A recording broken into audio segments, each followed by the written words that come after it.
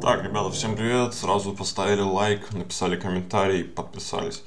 А начать бы я хотел с того, что... э, то есть есть вот такая вот программка, и тут мы вот в этой вот строчке мы не создаем и. Как бы это странно ни казалось, да. Обратите внимание на вот это слово extern. Оно просто говорит о том, что есть такая переменная и. И для чего это нужно в данном примере? Ну, у нас бы просто без этой строчки бы не скомпилировалось. Потому что компилятор дошел бы до этой строчки, он ходит по строчкам. Если что, то есть он не прыгает туда-сюда. А, ну, возможно, и прыгает, но в данном случае... Ну, давайте проверим. Так. Вот, видите? То есть, ну, поэтому вот эта вот строчка, она нужна. Есть мы просто говорим, что есть такая переменная, мы позже ее инициализируем, но пока что мы просто задекларировали, что такая переменная есть.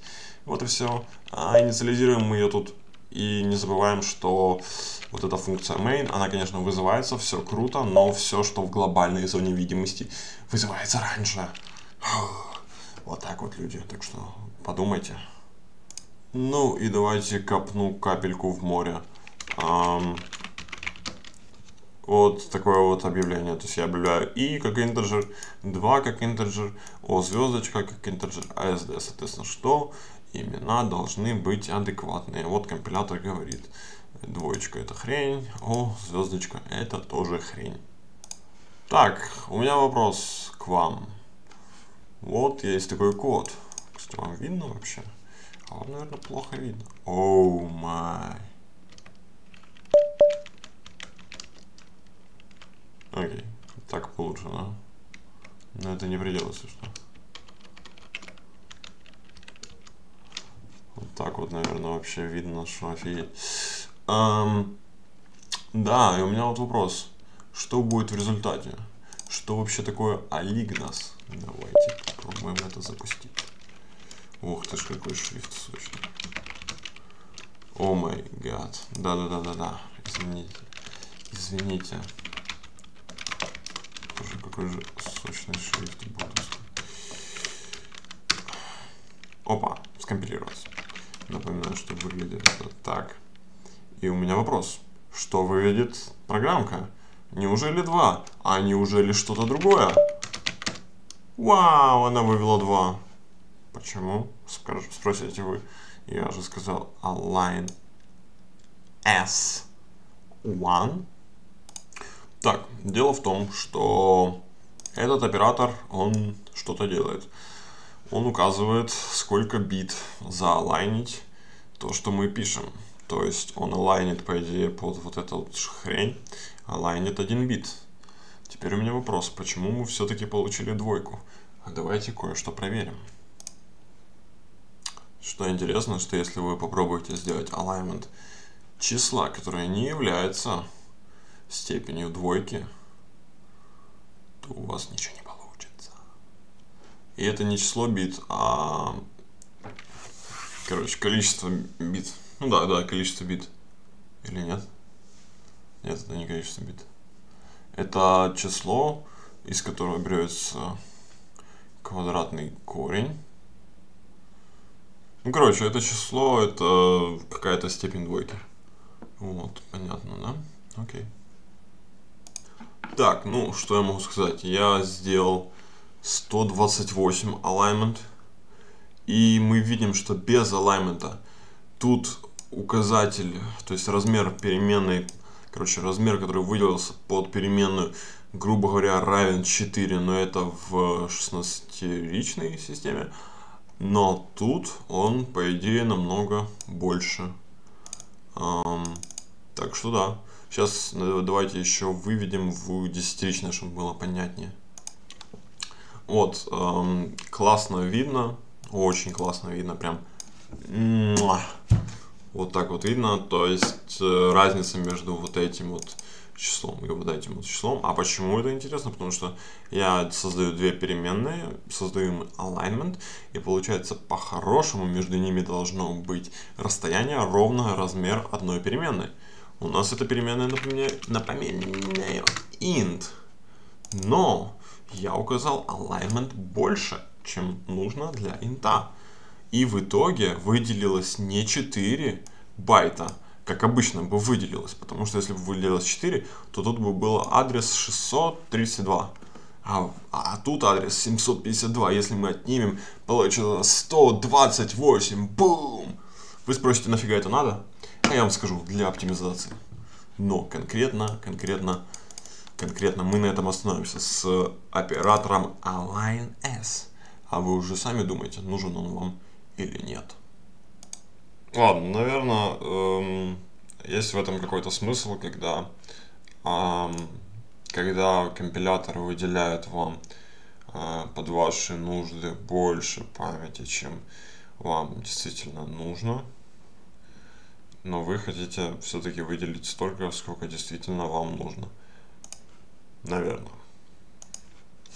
Так, интересный момент, то что если у нас есть структура, которая, в которой есть int и есть bool, то по идее размер этой структуры э, это 5.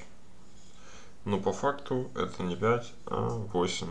Потому что размер, походу, не может быть, не равняться степени двойки какой-то. Поэтому берется большая степень, чем пятерка, то есть 8. Вот так вот. Интересно.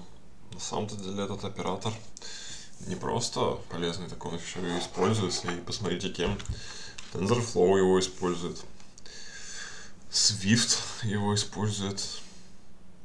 Кстати, не знал, что Swift open source. Protobuf. Facebook. Короче, ребята, я думаю, это что-то стоящее. Так, ребята, я тут попытался что-то найти, и такое сложилось впечатление, что этот Align S, он в принципе не нужен. Но э, бывают случаи, когда, ну то есть лучше его указать на всякий случай, потому что возможно это будет не лишним не лишним в каких-то конкретных вещах. И тут, э, возможно, даже стоит поговорить о ассемблере. А, поэтому, возможно, да. Так, окей. И вот пример кода использования вставки ассемблерной вставки, то есть использование эм, ассемблера. Окей. Давайте запустим.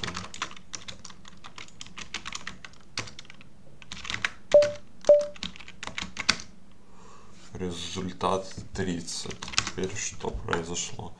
Value 10, value 20 результат. Ассемблерная вставка и потом результат 30. То есть вот эта вот ассемблерная вставка, она вот этот результат приравнивает к сумме 11 и 20. Окей, если 2, 5, 5.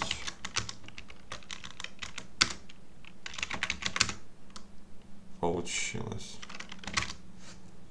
Окей. То есть оно в принципе работает. Окей. Давайте посмотрим ближе на ассемблер. Начало ассемблерной вставки потом move value into the EAX register. То есть э, value 1. То есть оно понимает, что вот это вот единичка, а вот это вот двоечка.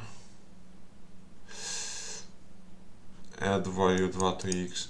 То есть вот эта вот штука меняется на вот эту вот штуку. EAX это регистр, который мы записали uh, add value 2 to EAX. Uh, то есть эта команда добавляет в этот регистр вот это вот число, которое у нас вот это вот. Moves the result back to the variable результат. То есть теперь мы хотим из нашего EAX записать вот сюда вот.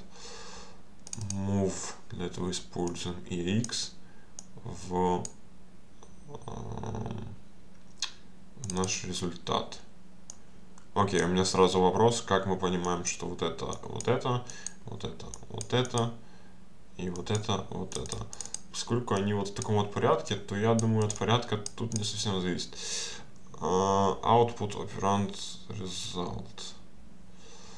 Um, окей, окей. Input operands value 1 и value 2. Во, вот это вот уже теперь становится понятно. То есть вот эта штука отвечает за output оперант, да. То есть то, что на выход подастся.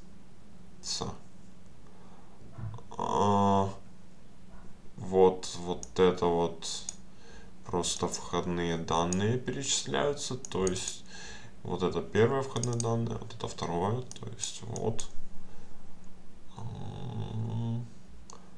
Clovert Register и AX. А вот это вот не совсем понятно. Um, окей. Ну, так, в принципе, плюс-минус. Um, ну, давайте, наверное, попробуем создать какую-то переменную. int lol равняется минус 7, 7. Um, так, ну, что я вам хочу сказать? Ну, это круто, да? Ну, согласитесь, это круто. Теперь давайте, то есть я создал тут лол. И, и что? Красиво, да? А, и теперь я буду вносить, например, вместо while 1 возьмем лол.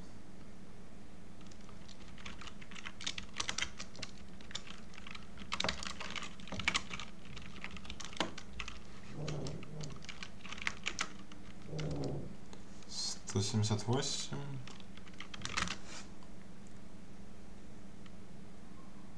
Да, блин, ребята. Реально сработало. Реально. Да, с минусами сработало. Nice. Nice, nice. Ну, теперь два варианта развития. Первый вариант это что, если попробовать место. Вот тут я не вижу, то есть мы просто указываем идентификатор. Но мы не указываем размер. Да? Что если у меня будет double?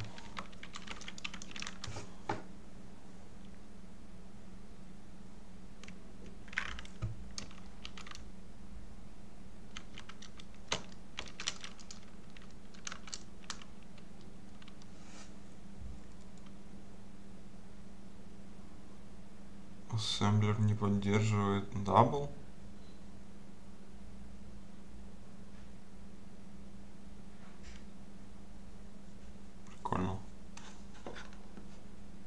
Окей, окей. Окей, надо это, ну... Возможно, регистр, который мы используем, возможно, возможно, и AX регистр не предназначен для double. Так, и смотрите, небольшой апдейт.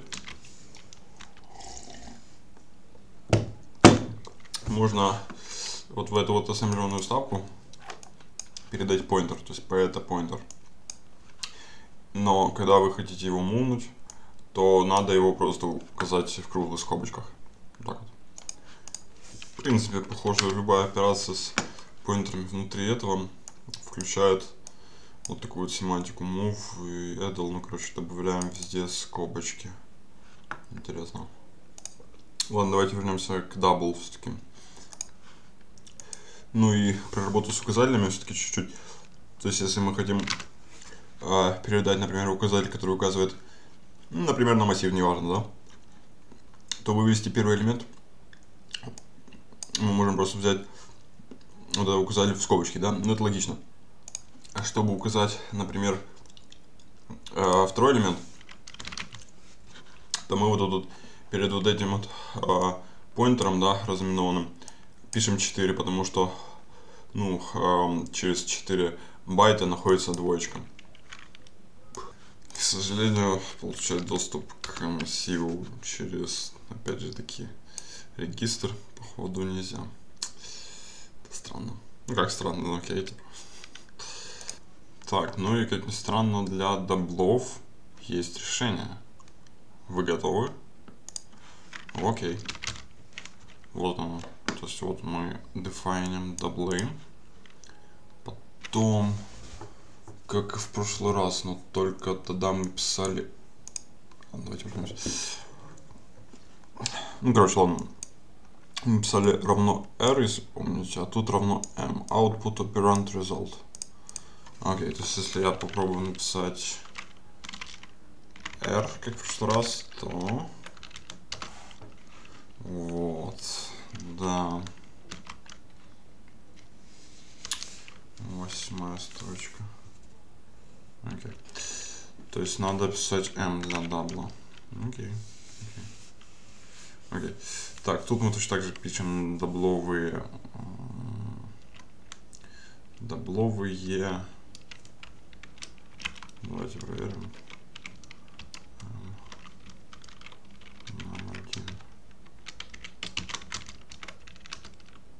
Окей. А если будет R?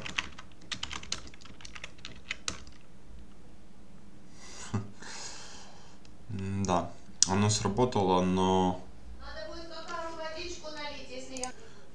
А, это сработало, но... То есть, потому что мы не использовали вместе с ним. Команду. Так, ну интересно, интересно, но мы, наверное, просто не использовали что-то. Ну, короче, ладно. А, M такая, в принципе, это, наверное, даже не принципиально.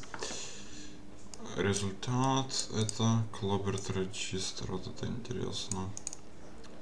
S-Stack, кстати, вообще, что такое Clobert Register? Интересно, но скорее всего это регистр, который... А чего ты в? Так, ну короче, тут мы указывали и X, сейчас мы указали ST. FPU stack называется ST, значит, входные параметры, выходной параметр.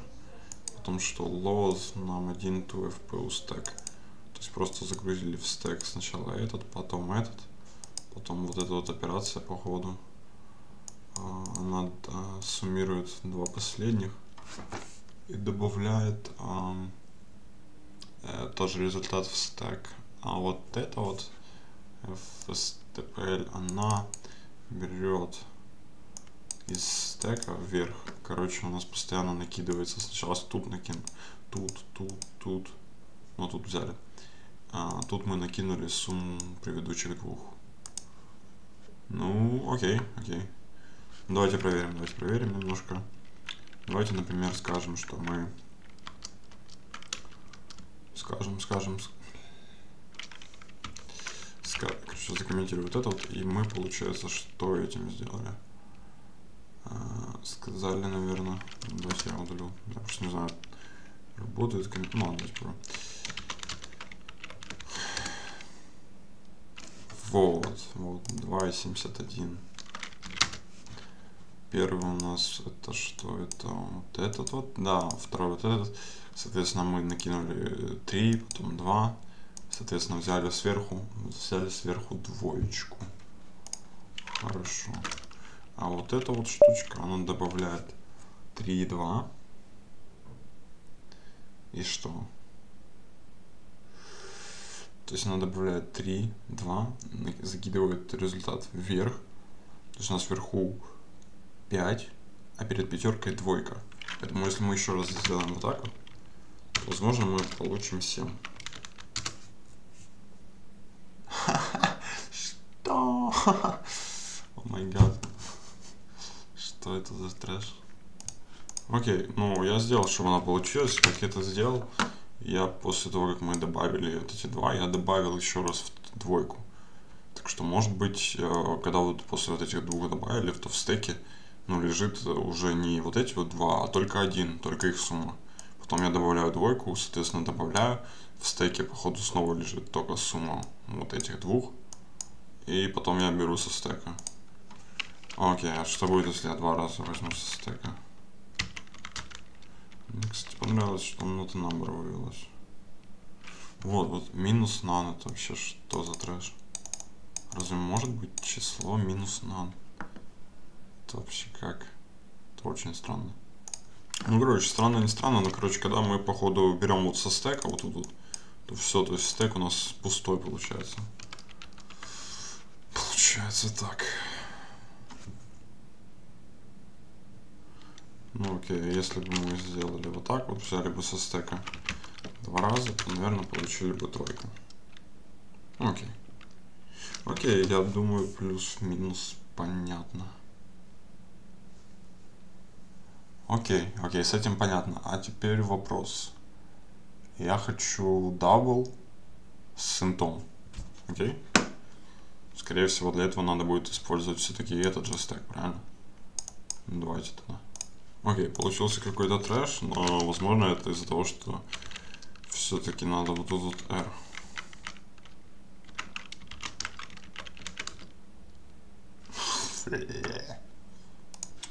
Вот, а кстати, вот так вот перевести нам два, которые integer в double, у меня не получилось, потому что параметры, которые ты подаешь, должны быть addressable.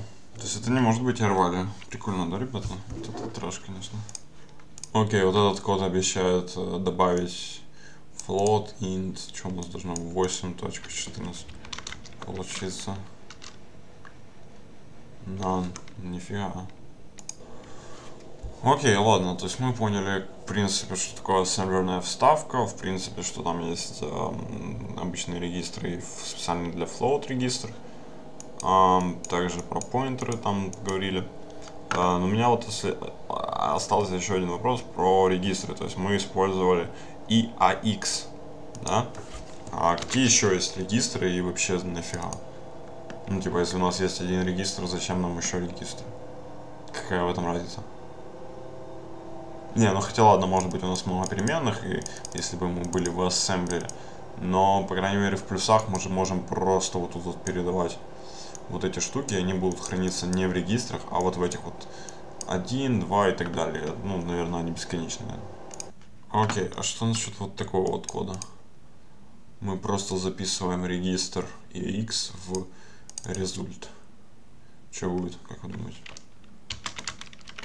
Раз, два, три.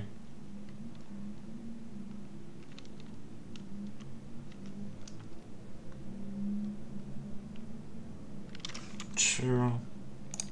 Окей, не знаю почему, но меня потребовали, чтобы я обязательно запровадил аргумент. Ну и ладно. Так, короче, в чем прикол, смотрите. Оно выдает какие-то рандомные значения. Блин, а это кайфово, да? это нам дает понимание того, что, блин, а мы можем этот, свой рандом написать, который будет просто брать регистра значения. Да. Ну, короче, это, по крайней мере, нам дает понимание того, что в регистрах регистрами пользуемся не только мы, ам, ну и то, что регистр не очищается.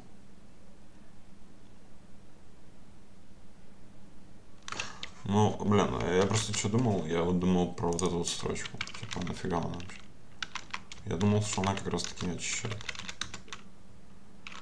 Ой-ой-ой-ой-ой-ой, ребята. Что происходит? То есть вот это вот и AX. То есть вот эта вот штука говорит не очищай. Прикол. Окей. Окей, мне нравится, окей. Окей, да, ну, понятно, окей, разобрались. Так, ну хорошо, но не разобрались еще с тем, что нафига другие регистры. Вот есть, например, EBX. О, результат точно такой же. Еще, я так понял, есть ECX и EDX. И то же самое с ними. Ладно, короче, э, в принципе, да, то есть с регистрами можно побаловаться. Я вам просто скажу, что их дофига. Есть индексные регистры, есть base pointer и stack pointer. Um, есть сегментные регистры. Uh, и это все для 32-битной архитектуры. Для 64-битной есть свои регистры. Mm, там дополнительные есть а, регистры. Есть там SIMD и Floating Point регистры. То есть, я так понимаю... О, Single Instruction, Multiple Data. Вот это, да. Single Instruction. Um, окей, окей. Single, да-да-да-да. Да, это прикольно. Это реально прикольно. То есть для этого, короче, ну, короче, вот все это началось вообще с того, что мы узнали про оператор Align S. Окей, окей, в принципе, пойдет. Так, ну, следующее, следующее слово Align Off, но оно, похоже, вообще не интересное. Оно просто обозначает, да, то есть мы просто в прошлом мы в, предыдущем мы получали, а, мы сетили align, да, а тут мы его получаем. Так, ну давайте еще для чистого интереса std string. Окей, мне нравится. std string align of 8. Это же восхитительно. Так, ну ладно, окей, скажу тогда пару слов про ауто. Ауто это очень просто. Э, ну, то есть, это прям очень просто. То есть, можно даже тут ауто и вот это вот будет ошибка, потому что непонятно что. А если вот так вот, окей, это не ошибка. Вот и все про ауто. Окей, ладно. Следующий у нас decal type. Но я вам кое-что не договорил. Ну ладно, decal type и а, lol равно это же без равно. Отлично. Почему это работает? Потому что, во-первых, да, кстати, это все работает э, в компиляции, да, то есть это не за, без запуска, и так все подставляется. Auto подставляется от int, decal type и э, берет от i, понимает, что он int, соответственно, подставляет int. Вот, но про auto я вам не рассказал. И про auto лучше рассказать через template. То есть, смотрите, у нас есть непонятно что, потом у нас есть еще непонятно что. А, и у нас вот эта вот функция auto. Давайте попробуем так, decal type сначала. То есть эта функция будет возвращать x плюс y f. А, ну да, она, наверное, все-таки возьмет x. А, наверное, не получится, да? Так, не получится, да, так не. Да, то есть она возьмет x плюс y, но тут проблема, мы же не знаем, что это еще такое. Поэтому мы ставим auto. Тут мы говорим, что она принимает x и y. И вот после этого мы уже можем сказать, что она возвращает decal type x, потому что мы уже знаем, что это такое плюс y. Ну и действительно возвращаем x плюс y. Не, обманули. Окей, а, скомпилируется оно, то скомпилируется, но если мы не используем эту функцию, то оно вообще этот код не будет трогать. Даже если мы тут напишем вот такую вот штуку, оно скомпилируется. Окей, оно не скомпилировалось. А если вот так вот. Окей, ладно. А, ну, в любом случае, давайте опробуем эту функцию. То есть передаем а, std передаем эту функцию, передаем ей 1, 2. 3. 2.3. Ага, да, работает. Вот, собственно говоря, это про decal type и авто. Окей, сейчас мы немного отвлечемся и развлечемся. А, возможно, вы знакомы с языком Python, который импортит модули.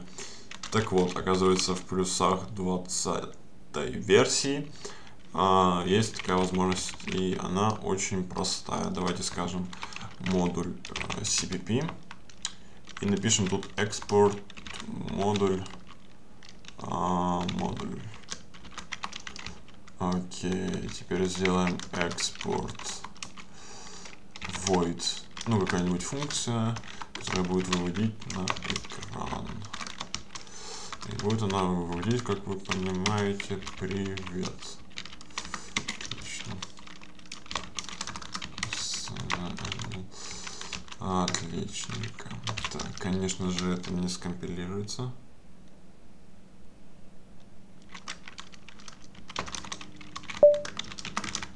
скомпилируется из-за того, что вау, вау, keyword и export is deprecated. Вот, вот это вот, ребята, интересно.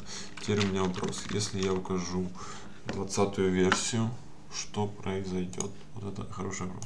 Um, да, ребята, тут, короче, такая тема с экспортом. Um, до 20, короче, э, до 20 версии плюсов он, короче, его никто не использовал. Вот, поэтому, поэтому да, поэтому сейчас мы попробуем подключить все-таки 20 плюсы. Да, то есть версию языка просто вот так вот делаете std равно c плюс плюс 20.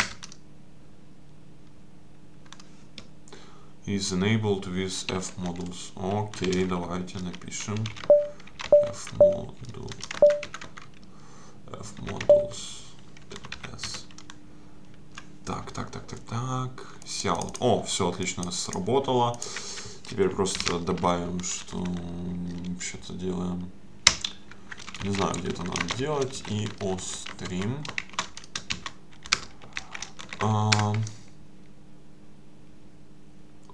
Окей. Okay. Only permitted as first. Окей, хорошо. То есть все-таки надо вот так вот.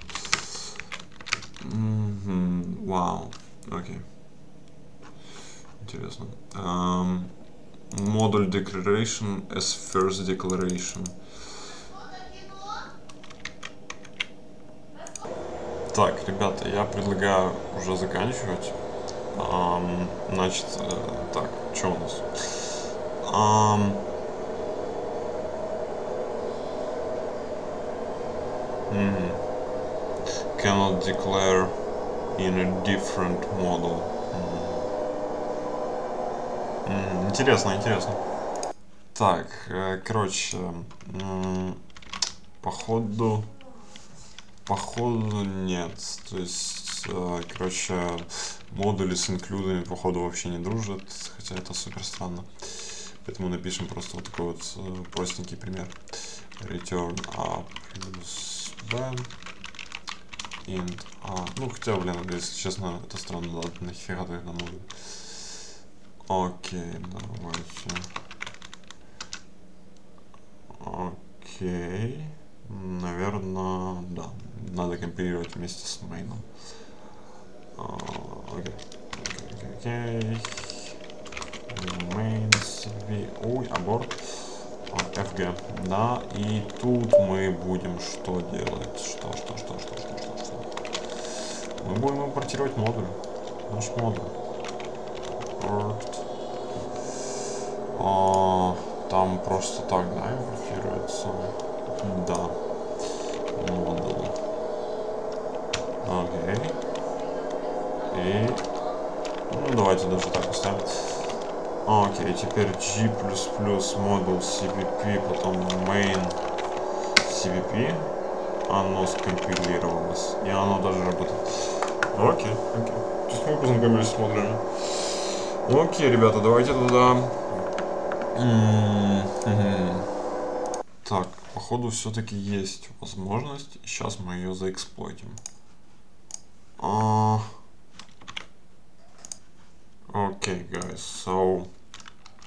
Looks like we have two files in model uh, stuff.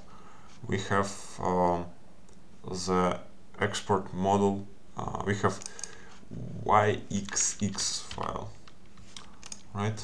Uh, so in this file we have the statement export model and module name and uh, the functions that this model provides so it will provide only f and basically it will be void. Okay okay so you see model yxx okay and in model for example cpp we will say that this model is this model. So this model cpp will implement actually this function. Okay so I'll say void I will delete in those and I will say dc out um, I'll use my native language to um, so I will use my native language yeah. And and and in theory we can include something. Here include new stream. Okay let's see. Let's see. Uh, yeah we have also main right? Main and uh, this main will actually just invoke um, this this function. Okay let's test. Okay where's our g++ model cpp main cpp and model IX6. okay okay we have something here. Um error okay okay so includes in class okay.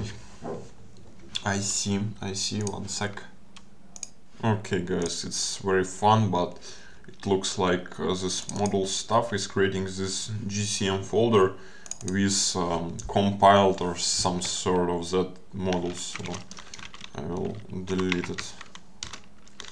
Now I will compile again. Okay nice. Failed to read compile no such file or directory.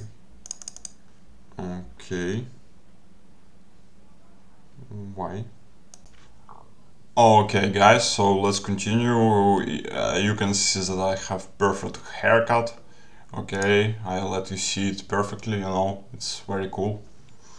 Like for this head haircut. Okay and it seems like I did um, I did I did it you know. Okay I will make it a little bit bigger. Okay okay so so yeah um, okay okay. Um, yeah so first um, we create some model mo module module.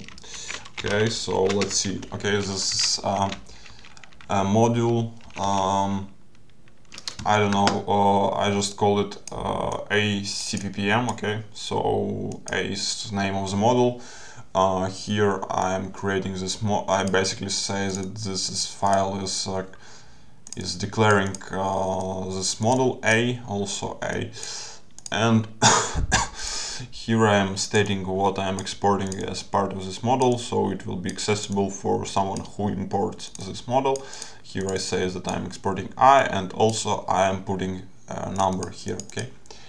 Uh, okay and basically that's all.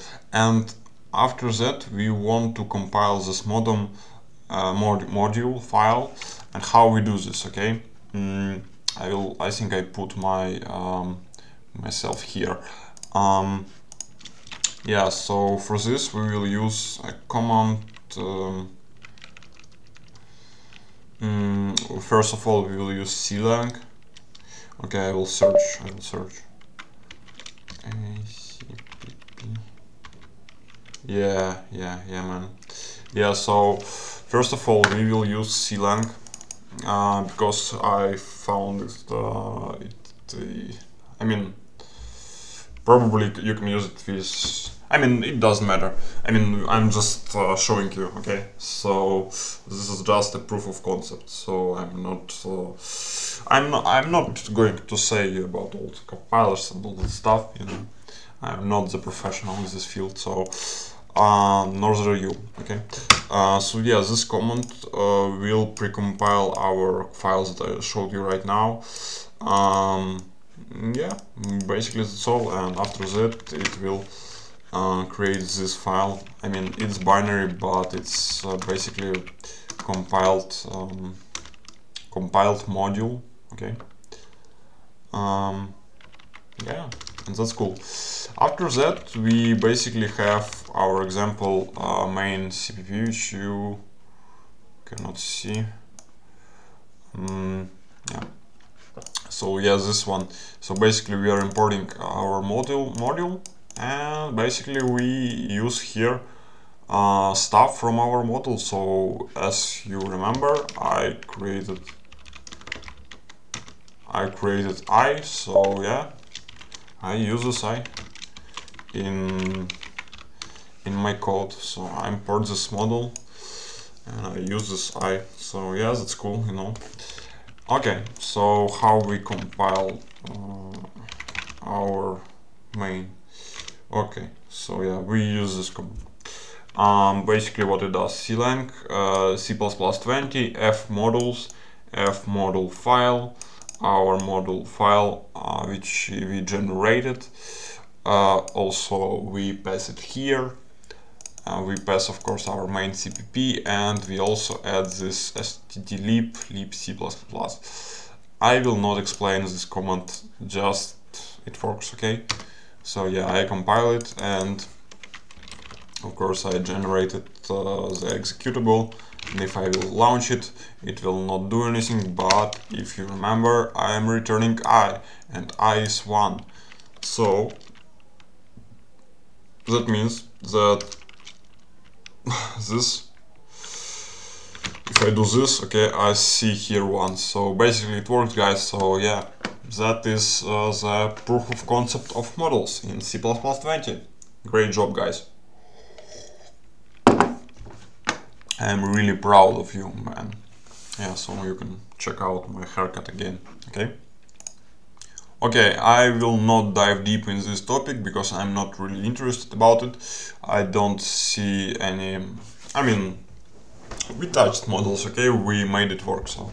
I mean, the rest of the work like uh, adding some really uh, like including uh, to our module um, separating a model into um, header some sort of header I mean some sort of files that declare stuff and actual implementation I will not touch this I mean you can touch this I mean write touch this and write in the comments what have you done okay so yeah, and that's all. I mean, for this video, that's all, right? So hope you enjoyed. Uh, put likes, put uh, dislikes, put comments. Uh, publish this video in hot places where there is a lot of people and just to make it roll, you know, just to make more views and that's all. Yeah, so yeah, have a great day guys, uh, bye. I will uh, continue to record next video, okay? we have a lot of work, you know. Yeah, bye guys.